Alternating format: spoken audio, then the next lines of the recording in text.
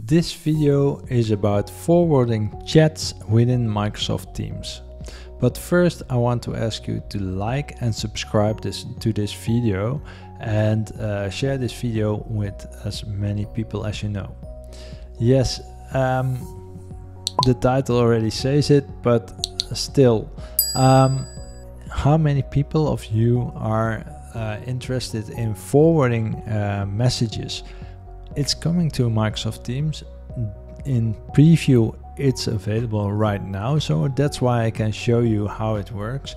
And I'm really curious if you are going to use this but what it is it's like forwarding uh, a message uh, directly within your chat so let's go into the demo it's a short video um, so here we are in the demo we are with uh, Debbie talking to Debbie and as you can say we see we have a whole chat uh, and here we have our reactions but now there's a new one and that's forward. That's this one.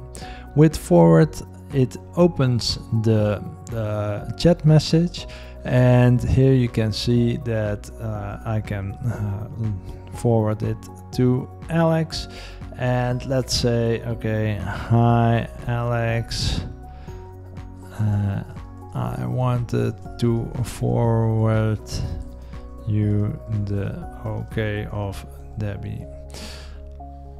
And as you can see, it, it's literally loading this image. Uh, it looks at least like an image, let's put it that way.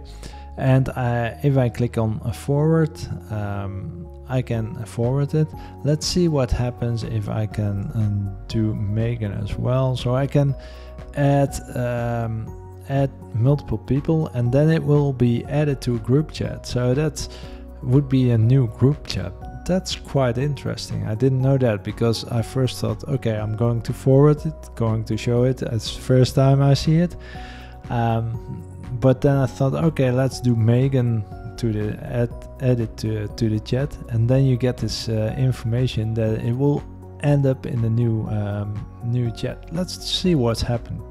So I'm going to click forward and here we see that it created a new uh, chat group and it forwarded the message.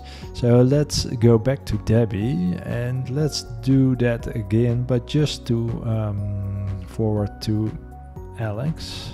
Forward uh, Alex and uh, let's uh, see so here we go. I forwarded to Alex and it looks like this. So there's a little difference there. So that's good to know because if you are uh, planning to forward it to multiple people, um, if you do it like this, you will create a new group if it isn't there. So if there's already a group, it will uh, put it in that group directly. Um, so that's quite interesting. I'm looking if I have a group. I don't have a group with. Uh, ah, let, let's do it one more time. I'm sorry. I, I I really think this is nice to know. Let's forward it and let's do it one more time to Alex and uh, Megan. Let's see it will be forwarded in a to a group chat. And let's see if this is a second one.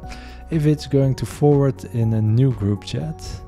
Uh, no it's going to forward in the same group chat. So if it's already existing group chat it will show you there so this was a little demo and I know it's really short, but I'm really curious if you are going to use this functionality. If so, please let me know in the comments. And uh, don't forget to like and subscribe to this channel. Uh, and uh, before I leave you, on the left side or right side, uh, I have a video preferred for you and my playlist on the left side or right side on this side of course and in the middle we have the uh, subscribe button. So don't forget to like it and subscribe it and see you next time. Thanks for watching